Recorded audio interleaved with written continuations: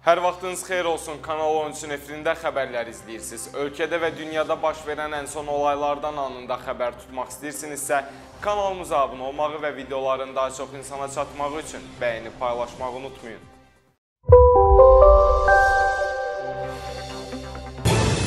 Bu gün Azərbaycanda 38 yeni koronavirus infeksiyasına yoluxma faktı qeydə alınıb.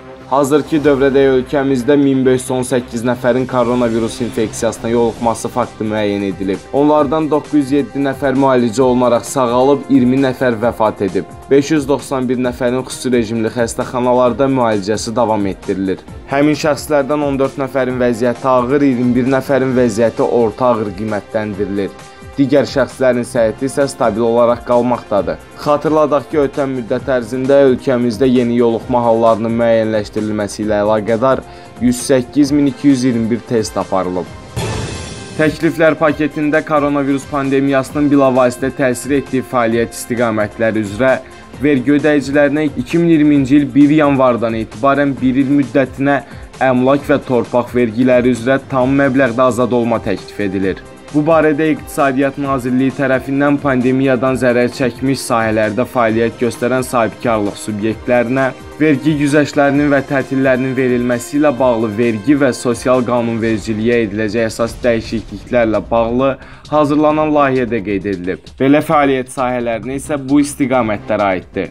Yerləşmə vasitələri hesab edilən mehmanxana və mehmanxana tipli digər obyektlərin fəaliyyəti, tur operator və tur agent fəaliyyəti, ictimai iaşə fəaliyyəti, avtomobil nəqliyyatı vasitələri ilə ölkə daxili sərnişin daşımaları fəaliyyəti, sifarişlər üzrə malların, o cümlədən yeməklərin və ərzaq və qeyri-ərzaq mallarının satıcılardan alıcılara daşınması və çatdırılması fəaliyyəti, sərgilərin təşkili, səhnə, istirahət və əyləncə, kinoteatr, teatr, muzey və konsert sallarının fəaliyyəti, idman sağlamlıq obyektlərinin fəaliyyəti, hazırlıq və ixtisas artırma kurslarının, məktəbdən kənar təhsil müəssisələri, psixoloji mərkəzlərin fəaliyyəti, koronavirus pandemiyasının yayılması ilə bağlı əhalinin sağlamlığı və təhlükəsizliyinin təmin edilməsi məqsədi ilə fəaliyyəti, Nazirlər Kabineti tərəfindən tam və ya qismən məhdudlaşdırılmış digər fəaliyyət sahələri aiddir.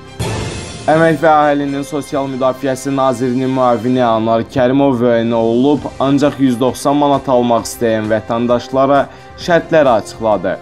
Belə ki, ilk növbədə vətəndaşın vöyünü varsa, amma uzun müddət istifadə etmirsə, əvvəlcə ona xitam vermək lazım olduğunu, daha sonra 190 manat almaq üçün müraciət etməyin mümkün olduğunu bildirdi.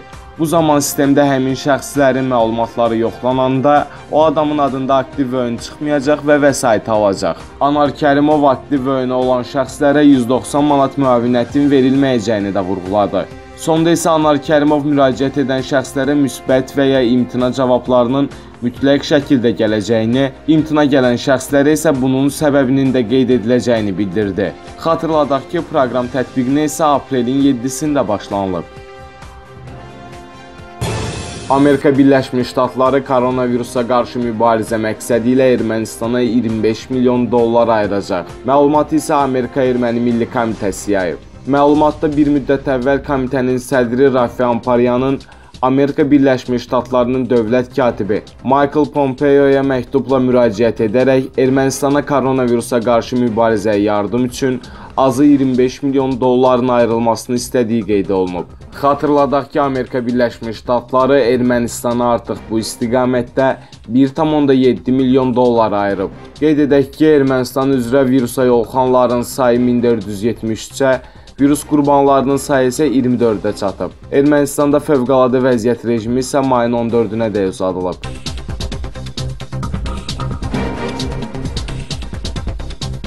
Sağ olun, daim yenilənən kanalımızı izləməyi unutmayın.